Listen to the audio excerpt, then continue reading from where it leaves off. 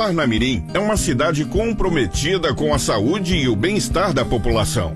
E a Prefeitura cumpre os calendários vacinais previstos pelo Ministério da Saúde. Está sendo realizada em todo o município uma campanha de vacinação contra a febre amarela, disponível para todos os que têm entre 9 meses e 59 anos. A vacina foi inserida no calendário básico de imunização devido aos surtos recentes de febre amarela em outras partes do país. A imunização pode ser feita em todas as UBSs do município, além de pontos extras nos fins de semana. Outra campanha importante que está acontecendo é a da Tríplice Viral. A vacina é aplicada em duas doses. A primeira é administrada quando a criança completa um ano e a segunda dose com um ano e três meses.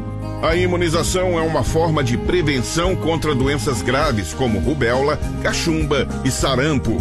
Em Parnamirim, o trabalho da prefeitura valoriza a saúde e a proteção de cada cidadão.